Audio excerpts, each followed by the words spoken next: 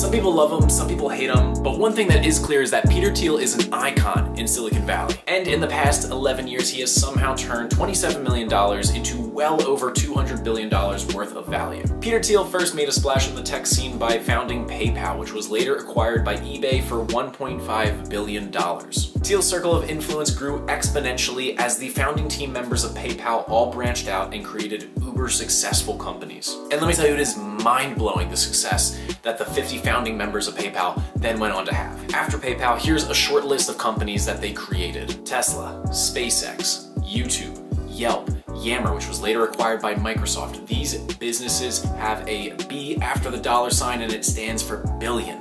These are massively successful companies. They print out money. I made 20 bucks just by mentioning their name together in a sentence. The group was so prolific, so successful, and they seemingly had such a stranglehold on Silicon Valley that they became known as the PayPal Mafia. Thiel himself went on to have a series of additional successes. One of his first investments was $500,000 into a company called Facebook. He got 10% of the company because it was so early in its days there, uh, and that turned into a super successful investment. Thiel also founded Palantir, a company that specializes in big data analytics and is now valued at over $4 billion.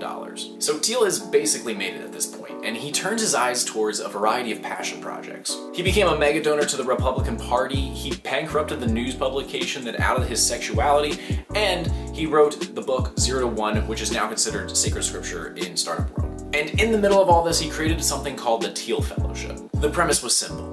Each year, 20 to 30 applicants that were accepted into the program would receive $100,000 to pursue their startup idea. Thiel actually didn't want any equity in the startups themselves, but he did have one catch. Thiel required each applicant that was accepted to immediately drop out of college to focus on that work. There were plenty of skeptics when Thiel announced the fellowship in 2011. People argued that it was sending a bad message to kids by encouraging them to make risky decisions they would later regret. For what it's worth, Thiel believes that people should go to college, just not all people. For some people, it just doesn't make sense to add thousands of dollars in debt and push off real world experience, and Thiel saw this as a way to support that segment of the population. And now fast forward to 2022 and the Thiel Fellowship skeptics are very quiet. Fellowship graduates have created immense value. Vitalik Buterin was a Thiel Fellow and he went on to create Ethereum, one of the largest cryptocurrencies in the world. Oyo Rooms, one of the largest hotel chains in India, was created as a result of the Thiel Fellowship and is now worth around $4 billion.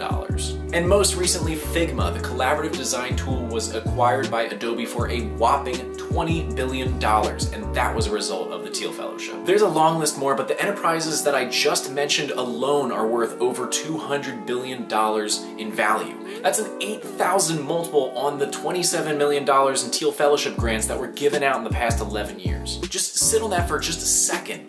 Think of something, anything that has generated an 8,000 multiple return. It's hard to come by. It's incredibly impressive, and I'm sure that there are already more successes in Thiel's pipeline. The fellowship is still going strong. In 2021, they actually received the highest number of applications to date. This year's cohort is working on a diverse array of projects. Let's see, they've got electric flying vehicles, a Christian daily worship app, at-home medical diagnostics, AI, blockchain projects, and more. If you want the full list, I've linked it in the description below.